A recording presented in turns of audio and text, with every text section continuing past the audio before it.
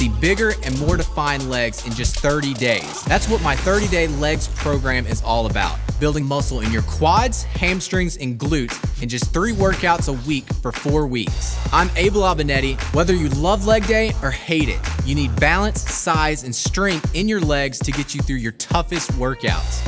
In this program, I've included my favorite training techniques and I'll explain everything you need to know in the daily workout videos. It'll be tough and you're gonna be crazy sore, but do it with me and you won't regret it. Quit trying to cram a week's worth of leg training into a single day. 30 day legs is exactly what you need to see results. 30 day